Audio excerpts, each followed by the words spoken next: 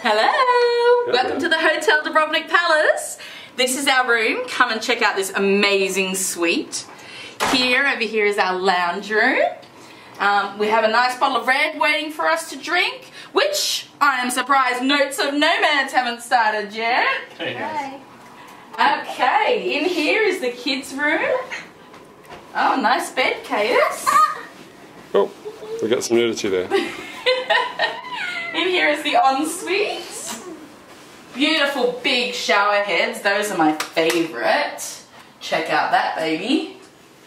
And some really nice bathroom products here. Yeah.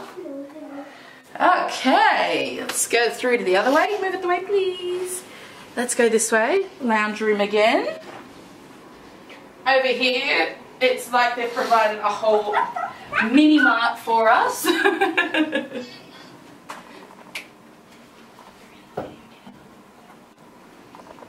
In here is another bathroom.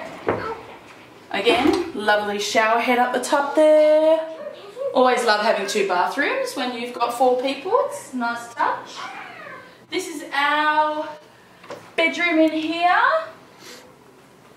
I love all the wood paneling with the TVs. Got two little tables here.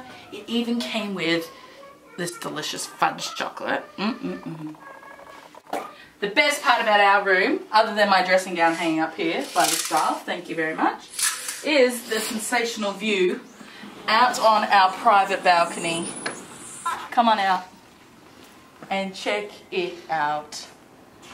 You can just see the pool down there, but who needs a pool when you've got the whole ocean on display?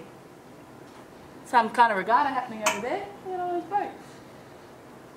Mountain meets the sea. What could be more perfect other than that beautiful shining staircase to the sun over there?